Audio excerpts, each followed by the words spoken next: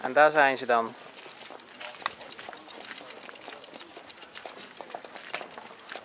Tom van Mierlo. En Kees Merks. Wist uh, veel regen gehad onderweg? Goeiedag. Ja, Nee. Eigenlijk heel tijd. ja tot de Breslau. En hebben nee. Je slaapplekken? Niks. In Brest ook niet? Was niets. Alles vol. Oh, dat had ik eigenlijk wel uh, verwacht. Nee. En hoe hebben jullie geslapen bedrijven? Op de grond. Ja, ja. Ja, dat gaat wel. Dat maakt niet uit. Maar We gaan even stempelen eerst. Hè. Ja, Ja. ja.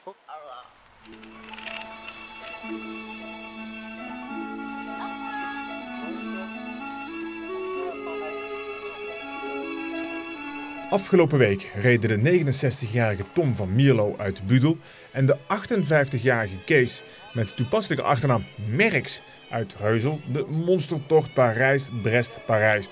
Een fietstocht van maar liefst 1200 kilometer.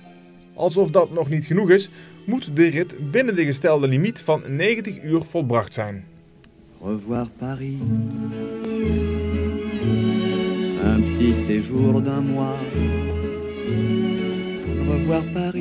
Randonneurs heten deze doorbijters die deelnemen aan de uitputtingsslag, waarbij slapen zonde van de tijd is.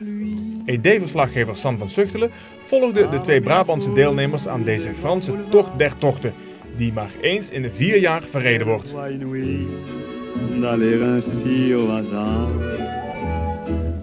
Prendre un taxi. Qui va le long de la Seine. Het is nu dinsdagochtend, 7 uur. Ik heb eh, vannacht in de auto geslapen. Die staat daar, aan de overkant. En de hele nacht zijn er van beide kanten fietsers alleen of in groep aangekomen over deze weg. Hier gaat weer een groepje, die gaan weer terug naar Parijs. Die hebben Brest al gehad. Die komen dan hier aan. Om door die mannen daar naar de controlepost te worden gewezen. En ze rijden dan het pad af.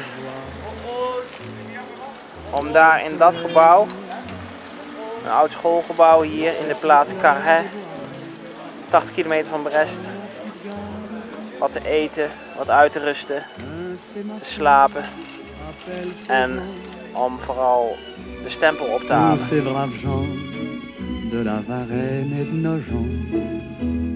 Bonjour la vie.